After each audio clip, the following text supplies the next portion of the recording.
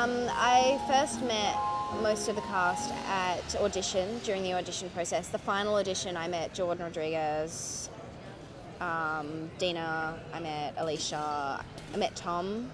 And I remember doing the auditions with them, you know, reading with them and thinking, wow.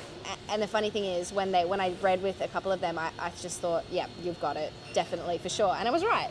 I wasn't really surprised when I when I walked into JO Studios and they were there. I was like, I knew you guys were going to get it. You were just so amazing.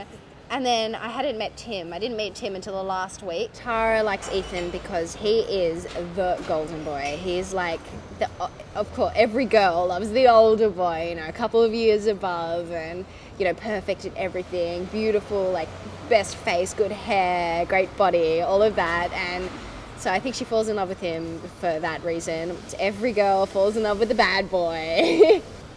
Tara and Kat are just so different. Kat is very inside, She keeps everything to herself, and and um, tries not to display emotions and feelings because she's scared that you know she'll get judged.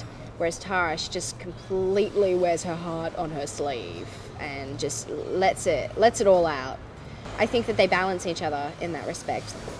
Tara and Abigail, yeah, have a very weird relationship. They Abigail starts off being absolutely the nicest person to Tara, her bestest friend, you know, that sort of thing. And until she realizes that Tara actually has potential, she she feels like her, her place is going to be taken as number one, and, and that's that's just no go. You can't have that. She's a bit jealous of Tara. I think they're a little bit jealous of each other in a weird way.